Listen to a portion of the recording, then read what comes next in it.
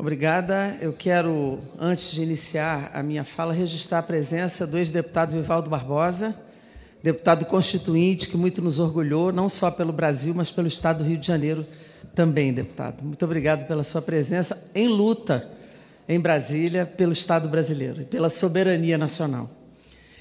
Eu hoje nós realizamos um ato político aqui no Congresso Nacional, na Câmara dos Deputados, pelo cessar-fogo, pela paz, em defesa e contra o genocídio do povo palestino.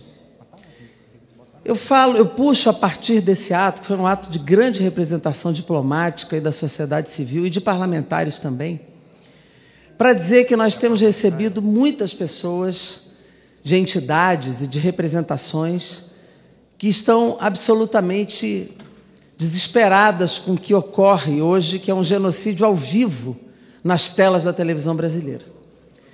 Mas temos recebido também muitas pessoas da comunidade judaica do Brasil, pessoas de etnia judaica, que são judeus, que são filhos que têm vinculação direta com a sua etnia e que estão muito preocupados, e na grande maioria solidários ao povo palestino, pessoas que lutam por essa paz duradoura entre os dois povos, mas que estão muito preocupados porque esse momento de guerra, de violência, gera muito ódio. E o ódio, e esse discurso de ódio contra a esquerda, contra a comunista, contra os palestinos, e também contra os judeus, muitas vezes levam a atitudes de pessoas desinformadas, às vezes desequilibradas, a agredirem as outras pessoas.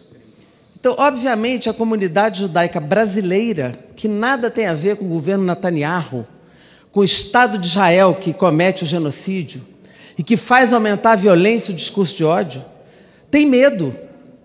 Tem medo do que possa ocorrer com eles e com seus filhos. Da mesma forma como os descendentes dos palestinos no Brasil também têm medo do ódio do que possa acontecer com eles. E a esquerda brasileira tem sido solidária à população civil de todos os territórios. E de forma alguma nós apoiamos o antissemitismo. De forma alguma isso para nós é algo normal ou natural. O preconceito, a discriminação de qualquer povo tem que ser repudiada por nós.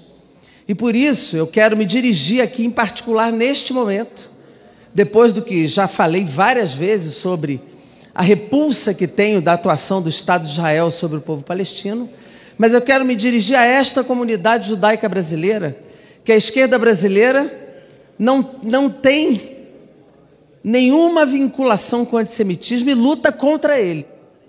Luta contra ele. Só para terminar, presidente e luta contra ele, porque nós não podemos aceitar violência contra o povo judeu que vive no Brasil, contra a etnia judaica que vive no Brasil, seus valores, seus costumes, seus filhos, suas famílias. Nós precisamos, de fato, dirigir uma palavra de solidariedade, generosidade, de luta contra o antissemitismo que cresce não só no Brasil, mas cresce no mundo. Da mesma forma como nós nos dirigimos ao povo palestino e seus descendentes, que tem a nossa solidariedade, a nossa luta em defesa do Estado palestino, em defesa da paz, pelo cessar-fogo e contra o genocídio que hoje se abate sobre ele. Nós não podemos aceitar nenhum tipo de preconceito, nenhum tipo de violência, nenhum tipo de agressão. E quero dizer, em particular, à comunidade judaica brasileira que nós lutaremos contra o antissemitismo, porque não é correto que o povo pague pelas ações criminosas do Estado de Israel. Muito obrigada, presidente.